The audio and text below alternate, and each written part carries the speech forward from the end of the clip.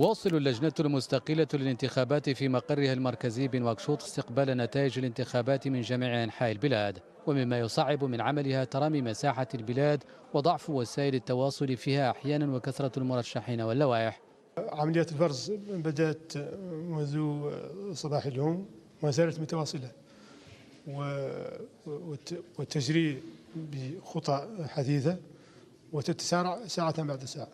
نسبة المشاركة وصلت إلى حدود 60% ومن المتوقع أن تصل إلى أكثر من 70% النتائج الأولية تشير إلى تقدم حزب الاتحاد من أجل جمهورية الحاكم من حيث عدد البلديات والجهات التي فاز فيها وتشير إلى فوز أحزاب معارضة له في بعض الدوائر الانتخابية أو الصعود إلى شوط انتخابي ثان.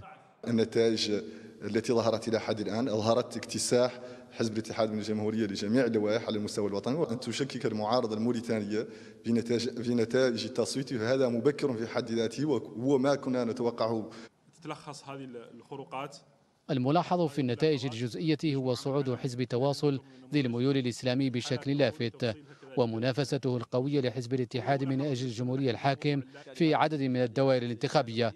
وقد حذر هذا الحزب من وقوع عمليات تزوير. لن نقبل تحت أي أي ذريعة تزوير أصوات الشعب الموريتاني وإنما أنا له نقبل التلاعب بها. وهون نحملوا المسؤولية الكاملة للجنة الوطنية المستقلة للانتخابات إنها يلا تثبت استقلاليتها الحقيقية. النتائج الجزئية أظهرت أن الحزب الحاكم يمتلك خزانا من الأصوات في القرى والمدن الداخلية في حين زاحمته أحزاب المعارضة في المدن الكبرى. الاتحاد من أجل الجمهوريه الحاكم يتصدر المشهد السياسي وحزب تواصل المرجعية الإسلامية يتصدر المشهد المعارض. انواك شوط عاصمة البلاد يبدو مؤجلة لمعركة بين الحزبين للشوط الذهاني كل الأمور الآن تتجه إلى الأغلبية البرلمانية، هل هناك هل ستحصل المعارضة مجتمعة على الثلث المعطل؟ هل ستحسم الأغلبية وحزب الاتحاد من الجمهورية بثلثين يسمحان لها بتعديل الدستور؟ يبدو أن الحزب الحاكم يحقق التقدم حتى الآن رغم المنافسة الشديدة من المعارضة خاصة حزب تواصل ليبقى التساؤل هل سيحقق الحزب الحاكم الأغلبية داخل البرلمان؟